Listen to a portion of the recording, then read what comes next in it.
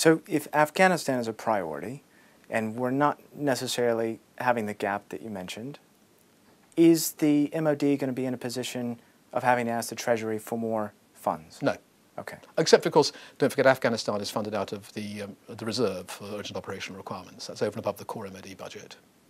Okay, so th- there would be an allowance there. That, that, that's planned for. Estimates are made at the beginning of each year. Okay. Uh, so that money is not out of the core budget. And how much might we expect could be funneled out of that? We, we will do what's necessary to, to make sure we can sustain the effort in Afghanistan, and we're confident we'll do that. How would you respond to, uh, go headlines, how would you respond to the claim that Tories are weak on defence? We could, well, that's a that's a novel one, I must admit.